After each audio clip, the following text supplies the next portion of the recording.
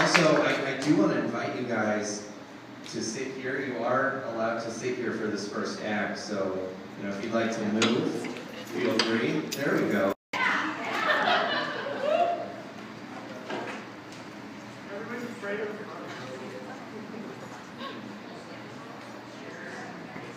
right, we'll wait till everybody's like situated here. Uh, we do have food, uh, food truck outside. We've got the Speedway Cafe. We've got barbecue pork, uh, super hot dogs, which uh, the lady in the food truck showed me a super hot dog. It's basically a bra-sized hot dog for a dollar. It's good.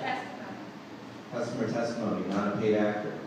Um, and they've got pretzels, chips, drinks, you know, all sorts of good stuff. And we have a cash bar outside, courtesy of CS3, Calhoun Street Soup, Salad, and Spirits. So give it up for them for donating their time. All right, we're gonna bring up our first act. Are you guys excited? I'm gonna call this the hot box. Hot box, are you guys excited? Yeah. All right.